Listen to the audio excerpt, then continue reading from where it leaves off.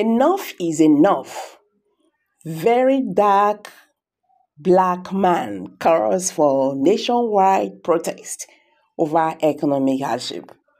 Nigerians, Martins Vincent Otse, also known as the Very Dark Man, a popular social media activist, has called for a nationwide protest in Nigeria due to the country's continued economic hardship.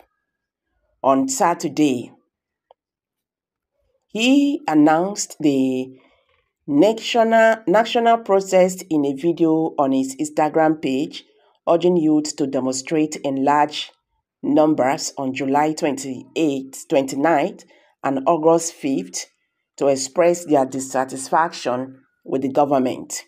The activists voiced disapproval of Asiwaju Bola Tinubu's government.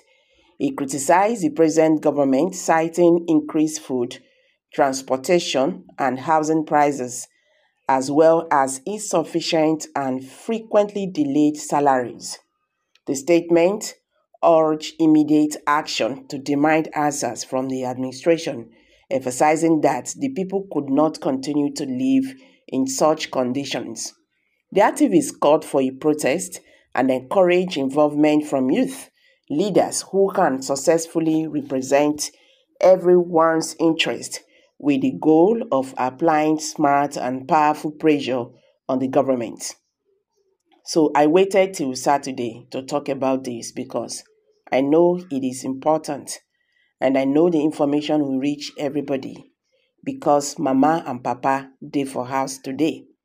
Now there are day now there are dates that has been released for nationwide protest because of the hardships and the suffering that is going on in this country right now. There is date for 29th of this month, July, and there is 5th for August. We have to come out as people of Nigeria to stand up and tell the government that enough is enough because the hardship and suffering is too much, he partly said. As a person, I boldly, as I do, not like Asiwaju Bola Tinubu's administration. It's as if the people are saying as fools. We cannot continue like this. Enough is enough. See the price of foodstuffs, see the price of transportation, and see the price of rent. Yet the salaries are poor and they come in late. They come in late. We cannot continue like this, and we have to do something about this and make sure the government give us a solution, dear youth. We should stand, but stand with an online solution and prioritize so we will be taken seriously and so we will not be taken advantage of by people that have their own agenda. Protest, protest. Yes, we will protest alongside youth leaders that can speak on everyone's behalf. Let's pepper them the right way. Um, I believe that uh, this man, maybe before the day goes, he is going to be arrested. Yes, he, he's going to be arrested. The government will go and pick him even before the protest. That is what they do.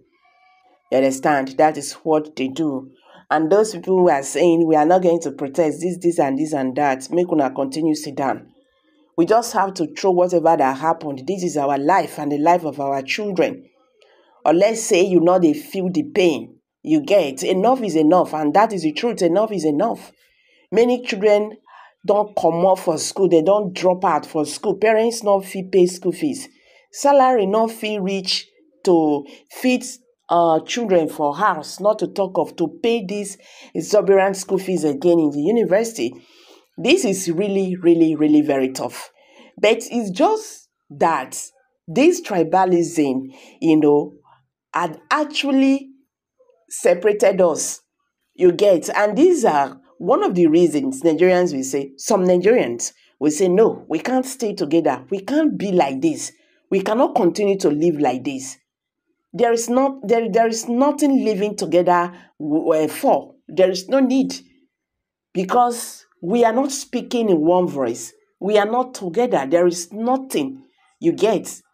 Honestly speaking the situation sef if you don't tey when everything don burst you get. People they talk they talk. Even god they make god god don't call some persons that time in the bible say see you today prepare your bed today because tomorrow you are going to be no more.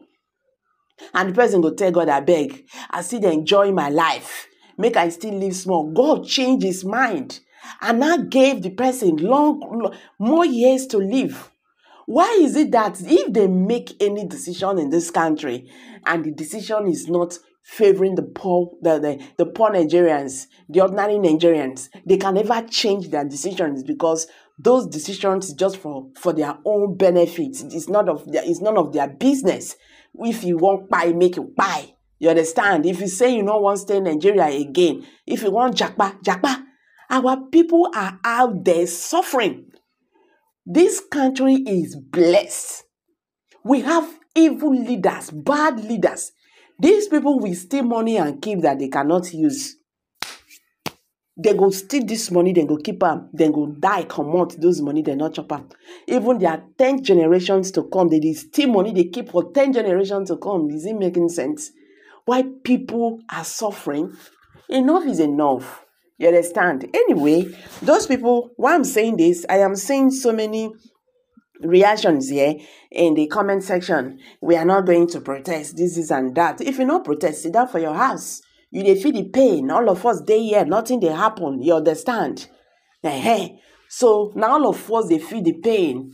If you get anything when they trouble you when you say at this particular time as a nigerian this is your right to say no we don't like this you say no you no go protect. Stay. No wahala. If you go fit if you go fit meet up every other person go still fit meet up. That is the truth. We just have to stop this and come together. Look at what happened in kenya though that, that protest forced the government to change its to change to change its mind. You understand?